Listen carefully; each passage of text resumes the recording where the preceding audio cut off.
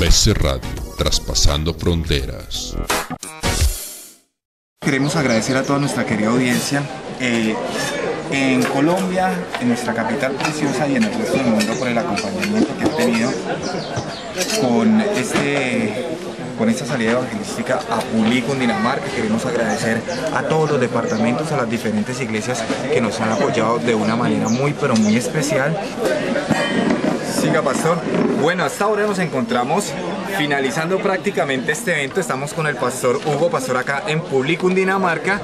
Y bueno, pastor, queremos que usted eh, evalúe, nos diga cómo se sintió el día de hoy, si sintió el respaldo de las diferentes iglesias, si realmente se cumplieron las expectativas. Bueno, hermanos, Dios les bendiga. Nuevamente, yo realmente estoy impactado. Era un impacto evangelístico, pero yo fui el que quedé impactado. Eh, ese trabajo tan excelente, hermano, de los cómo están organizados, eh, el apoyo, eh, la paciencia y lo más importante, se, se, alcanzó el objetivo que era llegarle a las personas. Ustedes se pudieron dar cuenta, las personas salieron eh, a las puertas cuando se hizo la caminata.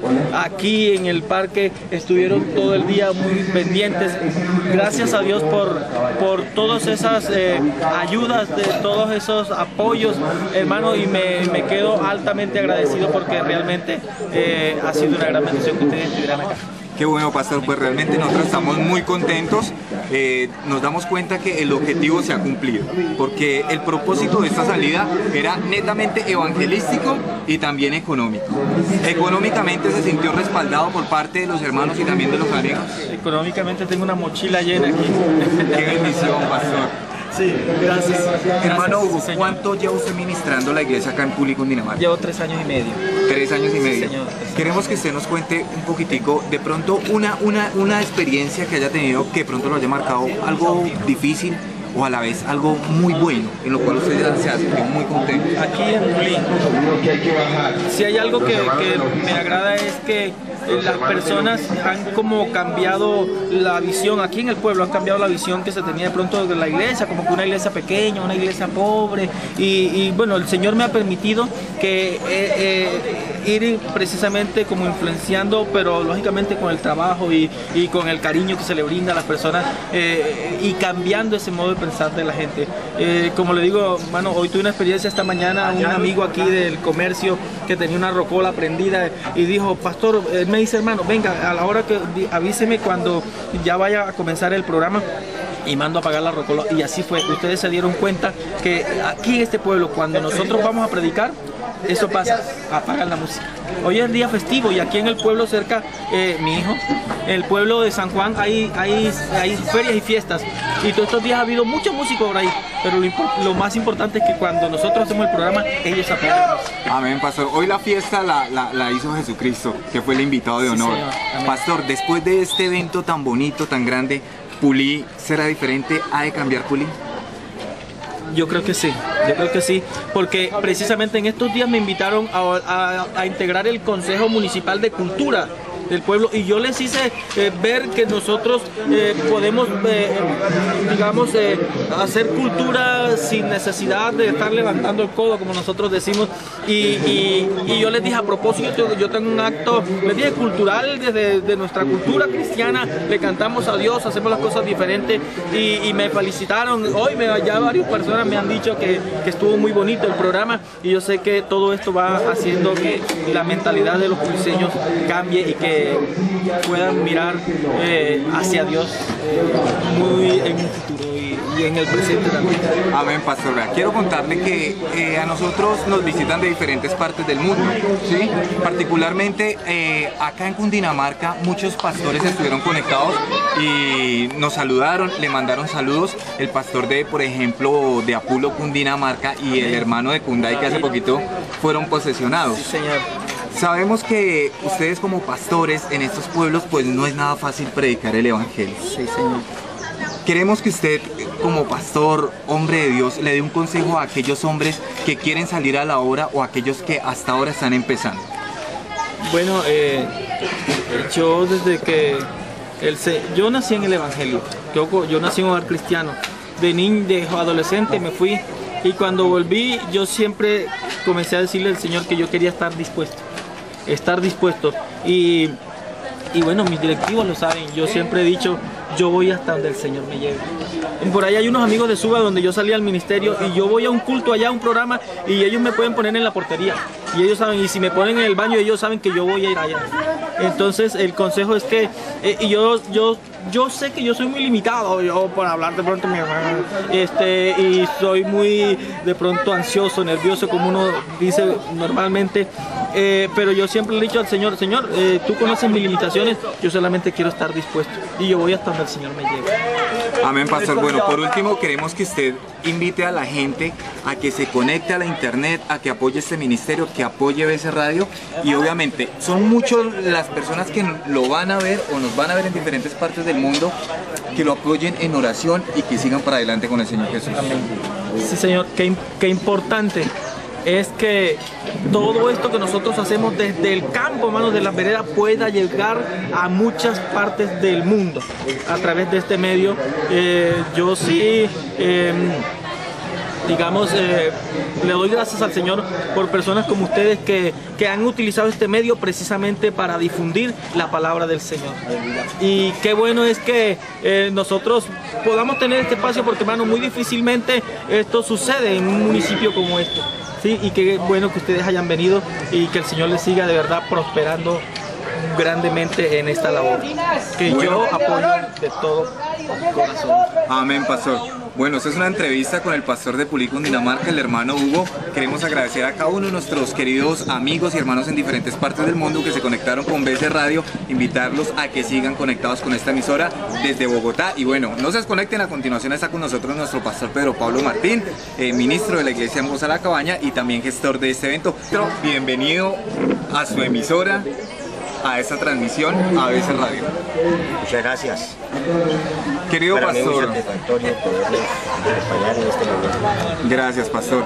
Para nosotros también eh, nos place muchísimo. La vez pasada no pudimos entrevistarlo, pero gracias a Dios hoy lo tenemos aquí cerquita. Tuvimos una preciosa audiencia en diferentes partes del mundo. Le mandaron muchísimos saludos desde Pereira. Y queremos, pastor, que usted nos diga qué opinión le merece este evento en el día de hoy. Hermano, es eh, un deber cumplido. Nosotros hemos sido llamados por el ministerio para la difusión del Evangelio, para la palabra. Y cada vez que tenemos oportunidad de hacerlo, sentimos una satisfacción grande. El Señor Jesús dijo, ir por todo el mundo y predicar el Evangelio a toda criatura. Y en eso debemos empeñarnos. El Señor nos dio el mandamiento y nosotros debemos buscar los medios, ya sea escritos, hablados, por la, la internet, las emisoras que pueden utilizar para transmitir este mensaje, ya sea también escrito de los. En síntesis, el Señor mandó predicar el Evangelio y nosotros somos quienes debemos buscar los medios para hacerlo, la manera de poder a la gente. Pastor, en, en las calles haciendo recorridos con hombres de valor, con hermanos de Voz a la Cabaña, de Suba, de Fontibón, era mucha la gente que salía por las ventanas y miraba. Igualmente, Pastor, quiero preguntarle, usted un hombre de tanto recorrido, de un ministerio tan largo, Muchas gracias. Eh, Por la gracia de Dios. ¿Considera, pastor, usted que Pulicón Dinamarca, después de este evento tan grande evangelísticamente, porque creo que es el primero grande que se hace de la Iglesia Pentecostal Unida de Colombia, seguirá siendo igual? Sí. Indudablemente, un evento como estos impacta a todos los habitantes por el número de personas que visita el pueblo. Un municipio como este, que es pequeño, el número de habitantes, se siente impactado cuando recibe la visita de 300, 400 personas hablando pues un mismo idioma en el sentido del Evangelio. Aquí se ha venido predicando por años.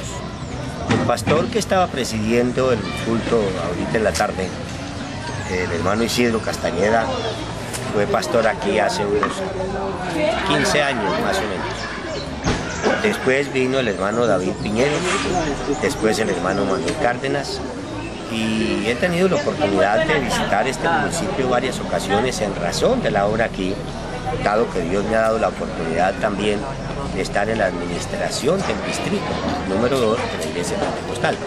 Por años también y, eso le deja una satisfacción grande.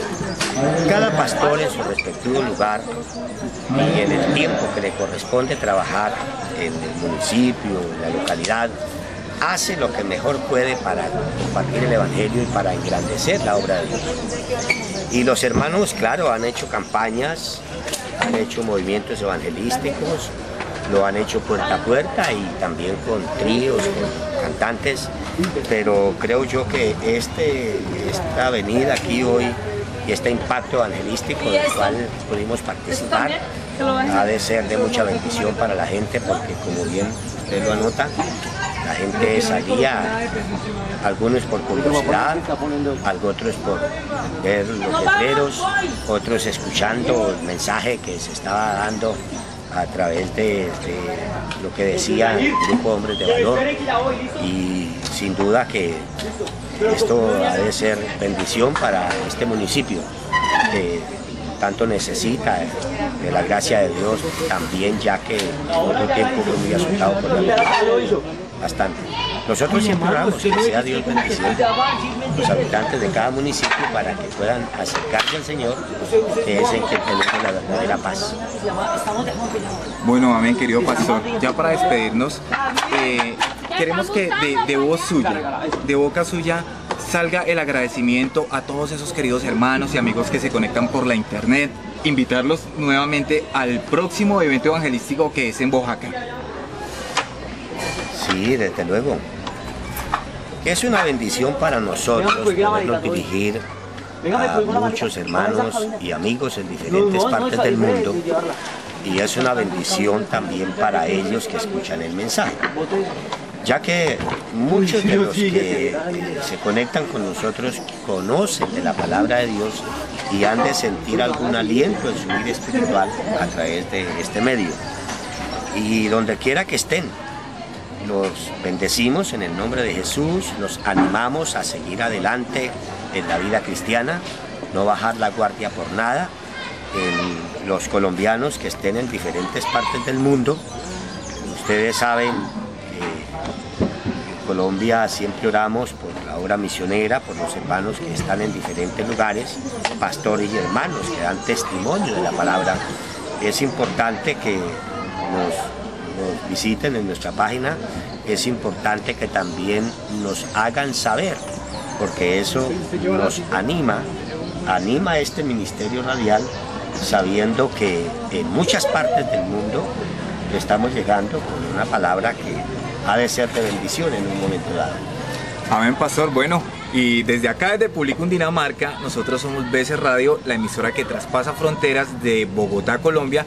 Queremos decirle gracias por el apoyo, gracias por sus comentarios, gracias por reportar su sintonía y estaremos próximamente de Oaxaca haciendo otro evento evangelístico. Y recuerde que nuestros programas son en vivo todos los días. Muchas gracias y el Señor los bendiga de una manera especial. Bendiciones.